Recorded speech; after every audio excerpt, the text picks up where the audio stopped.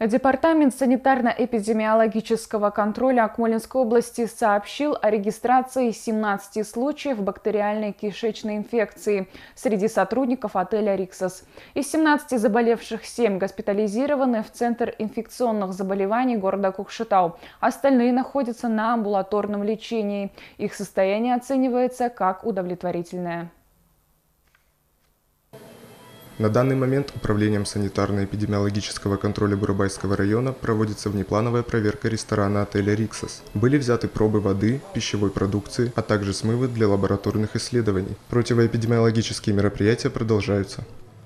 Всего зарегистрировано 17 случаев э, отравления среди персонала пищеблока отеля «Риксос». На сегодняшний день из числа общего числа заболевших 7 человек госпитализированы в ЦИС города Кокшетау, остальные находятся на амбулаторном лечении. Состояние больных удовлетворительной средней степени тяжести.